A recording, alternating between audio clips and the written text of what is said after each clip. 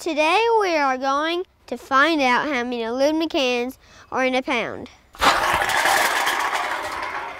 You get paid by the pound. For this demonstration, we are going to use pop cans, not alcohol. I never touch the stuff. Let's crush them, Hudson.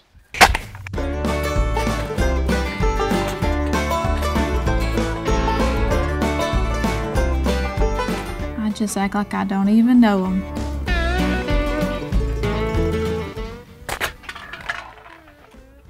This isn't working. I think we need an Ooster Crusher. Why didn't I think of that? So the reason we crush our cans is because it's easier to manage and to store. Obama, he went to the off doctor office and No jokes, Hudson. Focus. did you hear the one about Bill Clinton? Now let's see how many cans it takes to make a pound. Let's see if it's a pound. It takes 33 cans to make one pound. Good job, Hayden.